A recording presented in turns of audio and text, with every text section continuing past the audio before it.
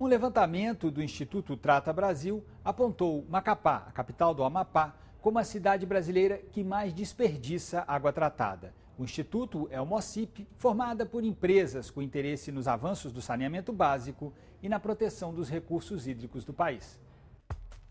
Macapá tem atualmente 437 mil habitantes, segundo dados do IBGE. De acordo com a pesquisa, cerca de 38% da população é atendida por água tratada. O desperdício, de acordo com o Trata Brasil, chega a 73,56% do total distribuído pela Companhia de Água e Esgoto, a CAESA. Segundo a companhia, existem 30 mil consumidores cadastrados, mas este número pode chegar a 50 mil com as ligações clandestinas. As razões que levam Macapá a ficar assim são as mesmas razões que levaram São Paulo a ficar sem água.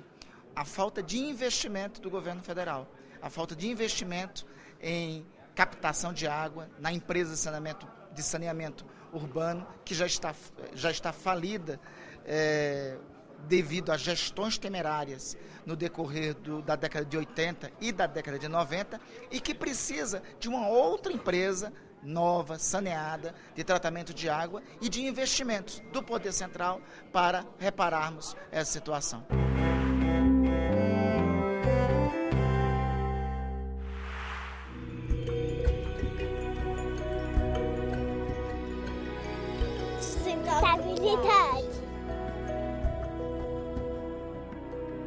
Palavra da ordem no mundo hoje é sustentabilidade. Sustentabilidade é sinônimo de planejamento, boa gestão, consciência política, participação, economia responsável, compromisso com os valores humanos, cuidado com a natureza e as pessoas, ação local e visão global.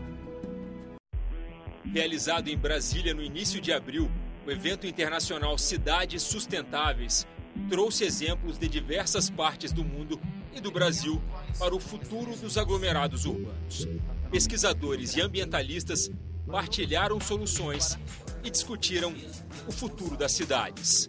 Hoje, é, nenhum prefeito, nenhuma prefeita pode dizer o que, que não sabe o que é uma cidade sustentável e não sabe o que fazer, porque todos os instrumentos, as, informação, as informações são fornecidos pelo programa Cidades Sustentáveis. Já está incluída na pauta do Congresso para ser votada uma PEC que compromete todos os cargos executivos eleitos no Brasil, presidente da República, governadores e prefeitos e prefeitas, a apresentar um plano de metas para o desenvolvimento sustentável para a área da sua responsabilidade e jurisdição.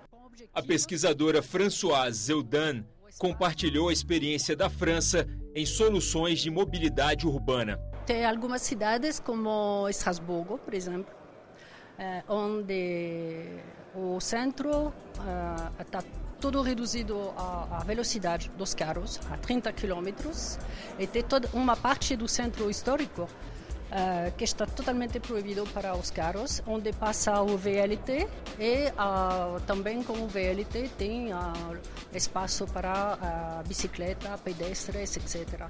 É o que chamamos zona acalmada ou zona de espaço compartilhado. Não sei bem como traduzir o, o conceito.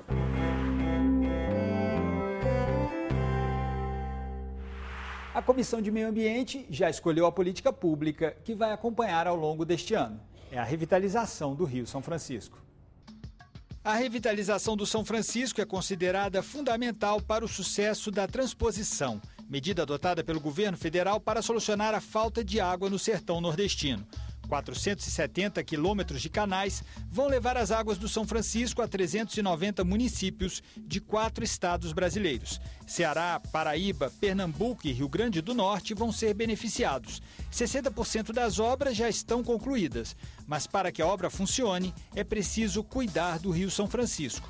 4 bilhões de reais já foram destinados para a sua revitalização. São ações que envolvem a proteção de nascentes, a recuperação das margens e a implantação de sistemas de esgotamento sanitário. Esse rio é formado praticamente 75% das suas águas no estado de Minas Gerais, por várias bacias de rios tributários ou afluentes. O principal deles é o Rio das Velhas, que talvez seja o mais caudaloso de todos os rios das Velhas, mas hoje é um rio que tem é, problemas seríssimos como erosão, desmatamento de matas ciliares e também muito poluído por série de, de municípios que ainda não têm o tratamento adequado do esgoto.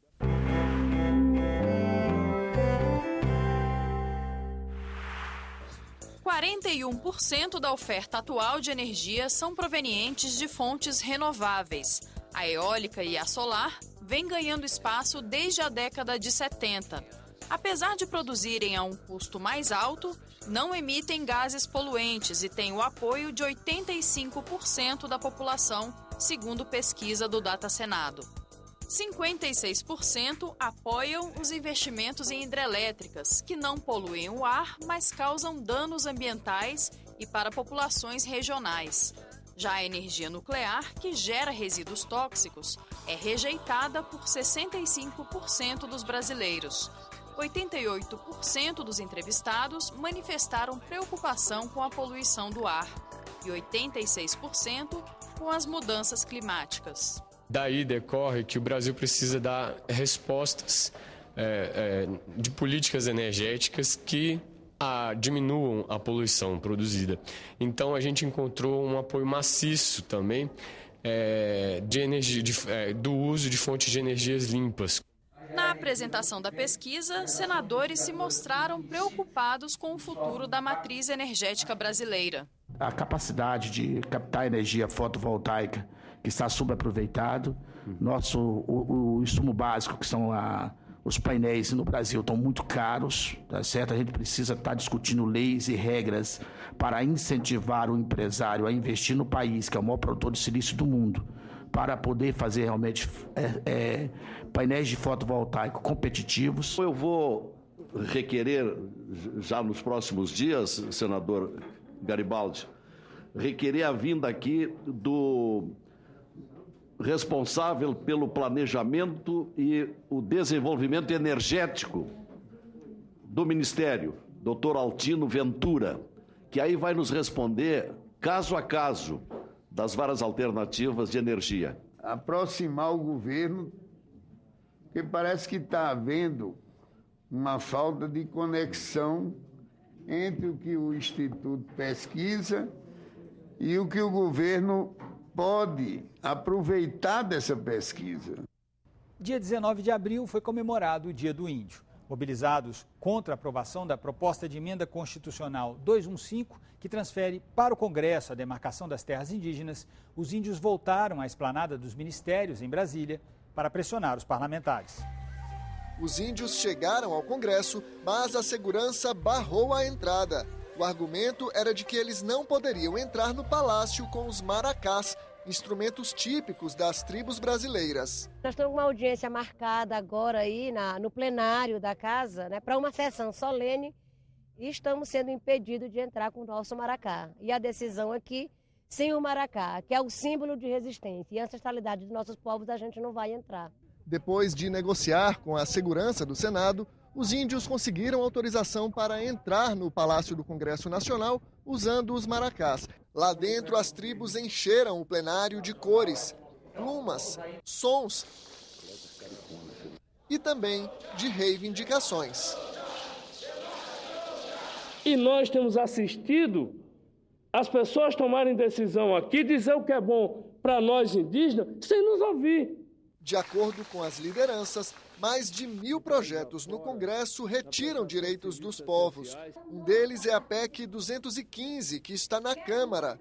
O texto transfere a responsabilidade pela demarcação de terras do Poder Executivo para o Legislativo. O senador João Capiberibe sugeriu a sessão de homenagem. Ele acompanhou lideranças indígenas ao Palácio do Planalto, onde se reuniram com o vice-presidente Michel Temer e levou um pedido à presidente Dilma Rousseff.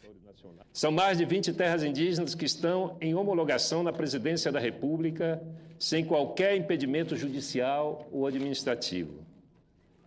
eu estou articulando para que a, presidente Dilma possa receber as lideranças indígenas para tratar exatamente desses, desses 20 processos que estão já aguardando apenas a homologação da presidente Dilma. Eu dizia que eu ia chegar nessa casa e ia usar um cocar. Eu quis fazer isso no dia da minha posse. Mas eu tenho contra mim, no meu estado, uma oligarquia muito forte, os meios de comunicação extremamente forte. Meus adversários vão todo dia para a razão dizer que quem paga a minha campanha são as ONGs, que eu estou a serviço das ONGs que controlam os indígenas contra o povo brasileiro. No que concerne ao indígena, a maior parte das pessoas, presidente, nutre um preconceito arraigado, difícil de ser estipado, considerando-lhes inferiores, menos desenvolvidos socialmente e intelectualmente. É uma pena. Na verdade, é uma lástima. O retrato de uma certa ignorância, um grande erro de julgamento. Os indígenas vivem em estruturas sociais cuja sofisticação, penso eu, está justamente em sua simplicidade. A gente precisa de mais solenidades como essa. Eu queria ver, senador, como prova de que o Brasil é um país de povos e não de um único povo, eu queria ver aqui eu sentar de paletó e gravata ao lado de um índio senador sem camisa, com direito de vir aqui como ele é.